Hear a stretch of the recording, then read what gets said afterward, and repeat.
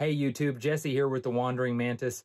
Today I'm here to give you a quick tip on how to use your Teton Wi-Fi Ranger that's a standard piece of equipment in your Rockwood GeoPro RV.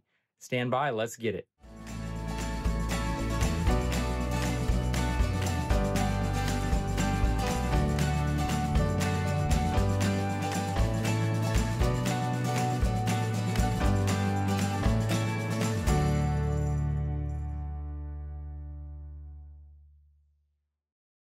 All right, so first things first, you want to come over here to your uh, Wi-Fi Ranger switch and go ahead and hit that baby to on. Once you do flip that to on, I have noticed that it does take about one minute or so for it to power up. So go ahead and just wait after you hit that switch. Now, after about a minute, you're going to want to go ahead and go into your iPhone or, or Android phone's Wi-Fi list, and you're going to want to go ahead and select your Wi-Fi Ranger. Now, underneath the Wi-Fi Ranger switch, in, in at least the Rockwood RVs, is a uh, UR, QR code, and beyond the QR code, there's also information about your specific network. So select the one that's on your actual QR code.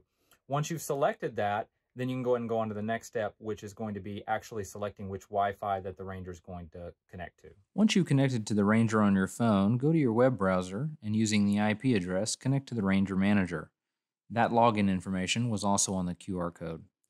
Once you've accessed the Wi-Fi Ranger, go ahead and select your appropriate Wi-Fi network, in which it will then prompt you to type in your Wi-Fi password. Once your password is typed in, go ahead and hit submit and give it a minute to connect.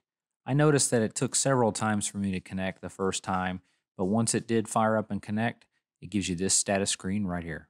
Once connected, just use the internet like you would normally. Be aware though that if you're in a public Wi-Fi setting or some other setting similar to that with an open network, be careful, your internet information could be out there, so be careful when you browse the web on an open network.